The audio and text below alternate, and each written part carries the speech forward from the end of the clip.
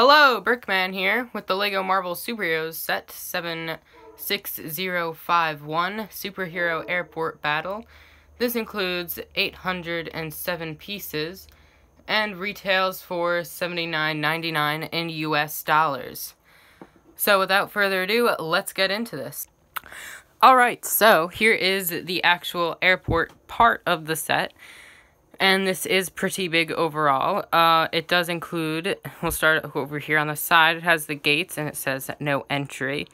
And you could move it around as you would plead to do so. um, and then you just see some boxes here, which goes with a play function later on. Another sticker here that just says air traffic control. And you could also see here, which is another play feature we'll get to.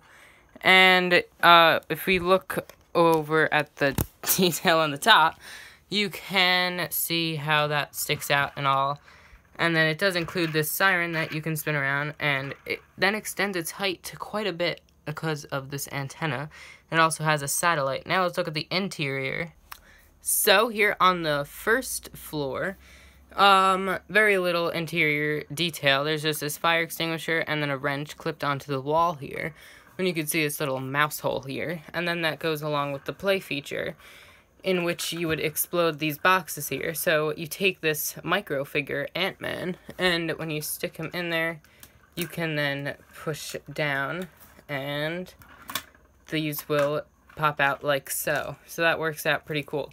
Let me take a closer look at these boxes. They have a few uh, nice Easter eggs. One to Stark Industries, then AIM, and then this one says Hammer, which is even a rather more nostalgic one.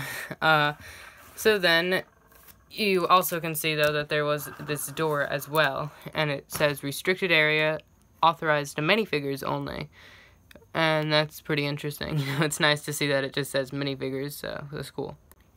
Next up, here is the second floor and you can just see that it has this computer using a sticker and this glass cup. It doesn't include like any airport workers or anything. Uh, then you could open up the cabinets and then there is mm-hmm. an exploding feature then. You see this here and you would push down on that and then these wall, the wall would break apart and you can see how that works. Only for the top floor, there is this spinning white chair, and there are also these two computer screens with two different stickers. And this does work very well with doing the angles to get these three windows. And once again, I already discussed the exterior. So now we'll jump to this here small vehicle. Uh, while it's small, it is pretty long, and you can see it seats one minifigure, and it does have opening doors. And then it just says truck 1 MDJR-86. That's just a sticker. And the front looks pretty nice, I would say. Of course, it is pretty weak. This isn't even covered anything. It's just completely wide open. But it is cool enough. You can see there's that stuff in the back. And then the main feature is you would have these three, they include three suitcases, lined up like that. And then basically, while in action, say we get Giant Man here, he would step on that and this would explode and the suitcases would go uh, exploding all around. And now we take a look at these suitcases and there's more great Easter eggs. One to Wakanda, Sokovia, and then this just says Bill. I don't think this is any necessarily specific Easter egg, but yeah, this is of course Black Panther's home and then what was in Age of Ultron, Sokovia, that made-up city. And now for the most hated build of the set. This is, of course, the third full-sized Quinjet vehicle we have gotten in LEGO form. And, uh, it is not, it's not that exciting. This is now, like, a dark blue and a smaller version, so it is kind of different, but we didn't, it wasn't so necessary. I mean, you watch the movie, it was actually bigger part of the film than I had originally expected. But still, not many people are happy with it. Uh, so this got yellow lights all around too, you could see, and like older Quinjets, the wings do fold in and out, so here it is in flight mode. And then this can actually open up like that, which is better than from the uh, Age of Ultron Quinjet. So I like that. Uh, and you can see it has that big sticker on it. And it has the three wheels that it goes on. uh, take a look on the inside then. And you can see that it actually seats two minifigures rather than one. And it does have the, I'm trying to get a good view of it, I can't. Let me remove this actually. Alright, you can see it's just got that sticker there. So that's pretty cool. And then, as for play features, the main play feature would be that you turn on this gear here, and then that comes out, that's hidden from beneath, and this is just two stud shooters lined right up next to each other. And then there is still nothing excited, exciting on the underside. And then we take a look at the back, and it doesn't actually look that bad. It has these nice red lights or firepower on the back. And then you can also open this up. And what do we have? Not much interior space, as in not at all. And so you do have this rope that you can attach minifigure to, and then have them come swinging onto or out of from the Quinjet. And now for probably actually the best part of the set. This is an entirely brick-built Giant Man figure, and he actually came out quite nice. Um, so you can see that there's really stickers all around, here, here, here, here, here, here. It does get a bit abundant, but it's fine here too. But then there is just the one printed the piece, uh, when you move down his mouthpiece, you can then see this whole part is printed, and that comes out really nicely. Even though it's probably even the most pointless part, because that doesn't happen in the film. He doesn't move down his mouthpiece. But yeah, this is kind of updated from the original Ant-Man minifigure.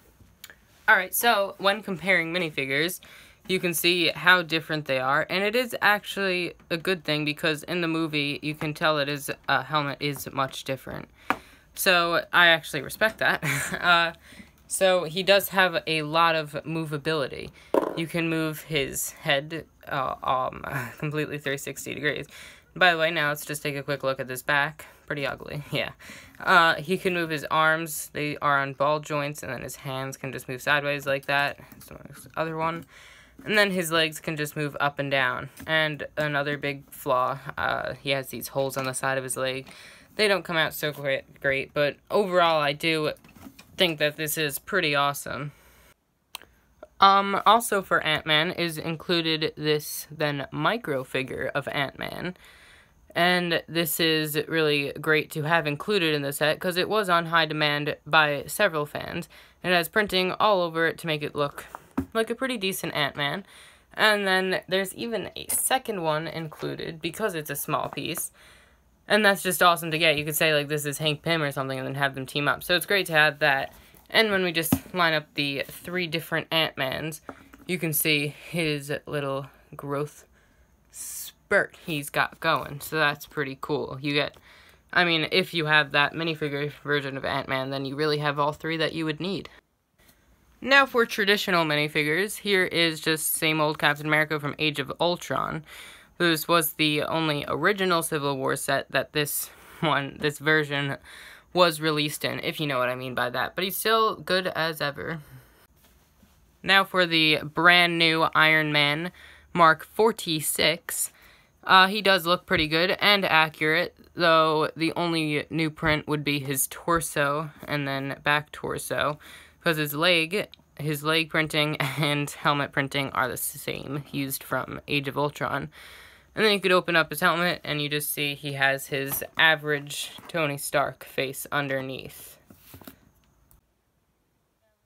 Much cooler, probably, Iron Man updated suit. This is War Machine in his newest MCU uh, mark. Not sure exactly what this mark would be called, but now this is no longer gray. Yeah, not silver, they went with gray. Uh, but now it is black with silver printing all around, and it looks awesome. He really did come out quite nice, better than I expected. You know, I wasn't getting this set to get this War Machine or anything. You could see all the printing on his helmet, too, and he has, like, those red eyes. Those come out awesome, and he's pretty bulky because of his back here. They really get quite intricate with the amount of detail. And even has a stud shooter attached to the back, which works just like that. Good, very detailed torso printing and leg printing.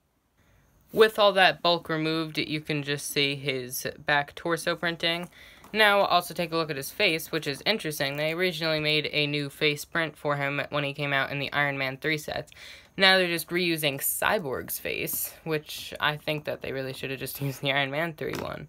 I, I don't know why I emphasized man. The Iron Man 3 one, because that was probably much better. But, uh, whatever. Now here's repeat minifigure number 2.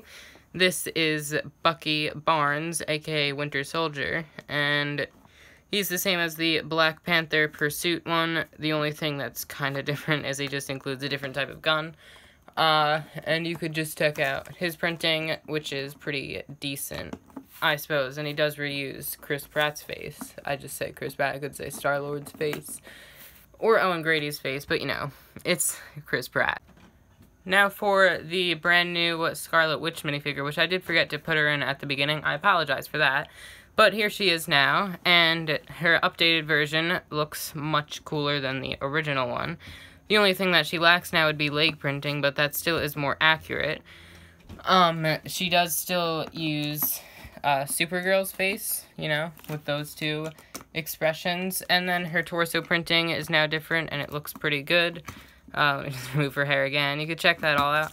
And then she also have this has this nice cloth piece that works out pretty nicely. And now, also more accurately, she has these pink glowing magical telekinesis thingies, whatever you want to call them. Because previously they were blue, and that was inaccurate.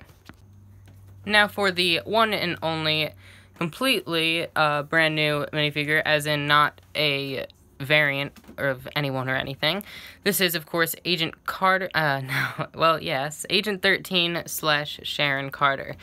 Uh, she has this less commonly used gun, and then a pretty good torso printing, a rather uncommon leg piece, no, but nowadays it's more common. Uh, her face, though, is brand new, as well as her torso, and you can just see her two expressions there. And then this hair is nice because this is not that common. And also there's her back torso printing. So pretty good minifigure to get. Finally, here is the instruction booklet, which there is just one, and it has the LEGO Marvel's Avengers advertisement, the website advertisement, uh, then the other Civil War sets, I have all three, and then all the pieces, which carries on four, four pages, wow. And then also look at the play features, and that's it. Well, here is also then the comic book included in the set. Just take a quick look at these. And if you don't know by now, I do enjoy reading through them very much, even though they don't have any word bubbles or anything. Great cover, too. Alright, so overall, this is a uh, pretty good set. It does have just a very good amount of minifigures, you know, you just want the minifigures, because it has all those superheroes, so people say it's one of the best Marvel set minifigure collections out there. Uh, if you feel that way, I I would kind of agree. I don't know. I kind of like getting villains too. um, but yeah, I like the builds as well. Besides that Quinjet, I don't think I'm ever going to use that in anything. So, that all being said, thank you very much for watching. Please remember to like, comment, and subscribe, and stay tuned for lots more videos coming real soon. Bye!